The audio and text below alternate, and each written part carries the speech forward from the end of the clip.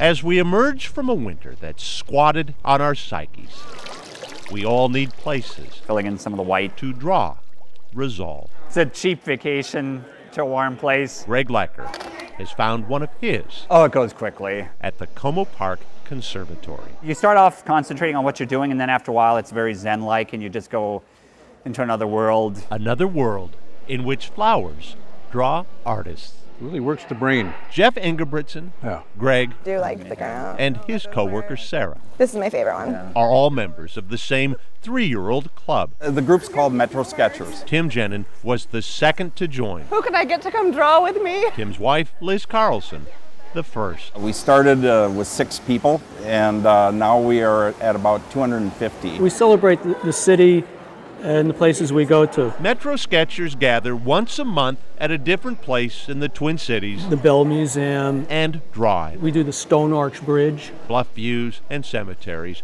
marketplaces, and the State Fair. I retired five years ago, and this is one of the things I wanted to try. Beginners and So what I do is professionals I, I kind of do a, uh, a foreground first. for whom sketching can become a visual diary of their lives. This is the this is the, the Union Depot uh, and the president. Ken Avidor is rarely caught without a sketchbook to capture whatever moment he's in. And everyone had their cell phones out. It's more than just a diary.